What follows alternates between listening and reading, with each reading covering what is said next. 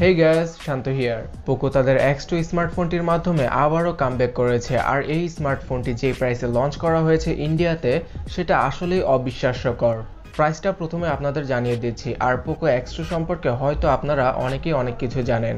কারণ এই ফোনটা রেডমি কে থার্টি স্মার্টফোনেরই একটা রিব্র্যান্ডেড ভার্সন যার প্রাইস কিনা চাইনিজ মার্কেট থেকেও ইন্ডিয়ান মার্কেটে আরও কম রাখা হয়েছে।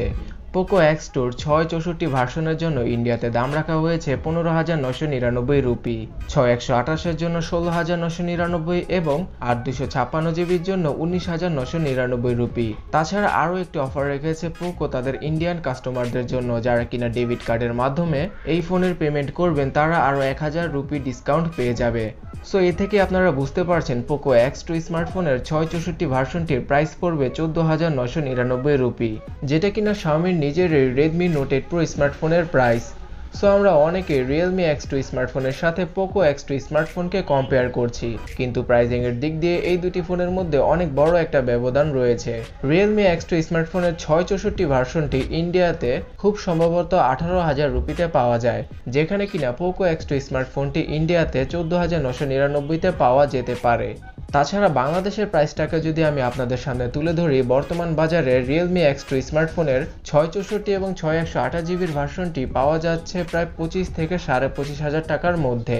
যেখানে কিনা পোকো এক্স টু স্মার্টফোনের যদি বেশি একটা হাইট না থাকে, তাহলে এই স্মার্টফোনটি আগামী দু এক মাসের মধ্যে বিশ থেকে একুশ হাজার টাকার মধ্যে পাওয়া যেতে পারে। সো অবভিয়াসলি তিন থেকে চার হাজার টাকা প্রাইস গ্যাপ আমরা দেখতে পারব এই দুটি স্মার্টফোনের মধ্যে। সো এখন আপনারা বুঝতেই পারছেন পোকো এক্স টু স্মার্টফোনের সাথে রিয়েলমি এক্স টু স্মার্টফোনের কম্পেয়ার না করে রেডমি নোট এইট প্রো স্মার্টফোনের সাথে কম্পেয়ার করতে হবে। সত্য কথা বলেছেন। আর Redmi Note eight Pro smartphone থেকে কিছুটা এগিয়ে থাকবে পোকো এক্স টু স্মার্টফোনটি যেখানে কিনা আমরা একশো বিশ আর্জের সিক্স পয়েন্ট সিক্স সেভেন ইঞ্চির একটি ফুল এইচডি প্লাস রেজুলেশনের ডিসপ্লের দেখা পাবো। আর ডিসপ্লের উপরে রয়েছে ডুয়াল পাঁচ হোলের কাট আউট যেখানে কিনা টোয়েন্টি প্লাস টু মেগাপিক্সেলের ক্যামেরা ইউজ করা হয়েছে। পেছনে রয়েছে কোয়াড ক্যামেরা সেট যেখানে কিনা প্রাইমারি সেন্সরটি সিক্সটি ফোর মেগাপিক্সেলের সনির সেন্সর তার সাথে আলট্রা ওয়াইড ম্যাক্রো এবং ডেট সেন্সরও রয়েছে। পোকো এক্স টু ফোনটির সামনে এবং পেছনের দিকে রয়েছে গরিলা গ্লাস ফাইভের প্রোটেকশন কিন্তু এর বিল্ড কোয়ালিটিটা পুরোটাই প্লাস্টিকের তার সাথে এই ফোনটি twenty is to nine aspect রেশোর সাথেই আসে। সিকিউরিটির জন্য রয়েছে side mounted physical fingerprint scanner তার সাথে সেন্সরের দিক দিয়েও কোনো কমতি রাখেনি শাওমি সব ধরনের প্রয়োজনীয় সেন্সর এই ফোনটির মধ্যে পাওয়া যাবে। রয়েছে আর ব্লাস্টার এবং নোটিফিকেশন এলইডি লাইট।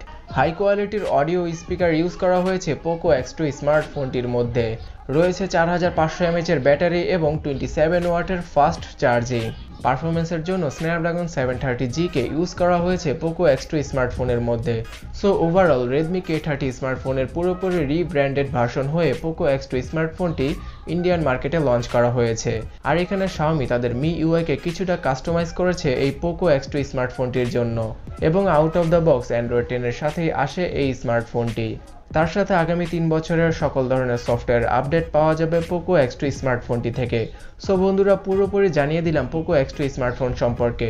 যদি এই ফোনটি বাংলাদেশের মার্কেটে বিশ থেকে বাইশ হাজার টাকার মধ্যে পাওয়া যায়, তাহলে খুব ভালো হবে। এবং ওই প্রাইজের মধ্যে বর্তমানে আমরা রেডমি নোট এইট প্রো স্মার্টফোনকে দেখতে পাই। সো বুঝতেই পারছেন পোকো এক্স টু স্মার্টফোনটি সেই জায়গাটার দখল করতে চলেছে। তো বন্ধুরা ওভারঅল পোকো এক্স টু স্মার্টফোনটি আপনাদের কাছে কেমন লেগেছে নিচে কমেন্ট সেকশনে লিখে ফেলুন। দেখা যাক যে কতজন এই ফোনটিকে পছন্দ করেছে।